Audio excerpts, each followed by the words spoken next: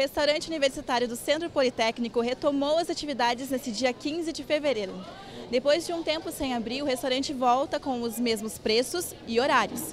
Os estudantes ficaram alegres com a volta do RU. Fez muita falta, né?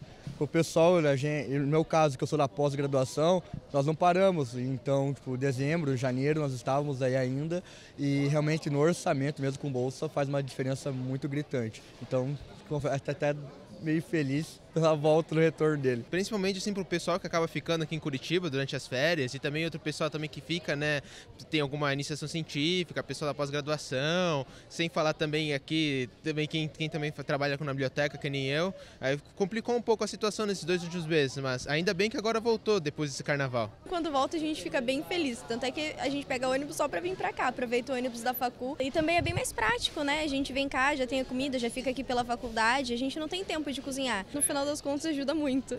O RU do Centro Politécnico foi o primeiro a reabrir. Os RUs Central, Jardim Botânico e Agrárias voltam a funcionar dia 19 de fevereiro, acompanhando o início do semestre letivo da maioria dos cursos da UFPR. A refeição custa R$ 1,30 para estudantes regularmente matriculados.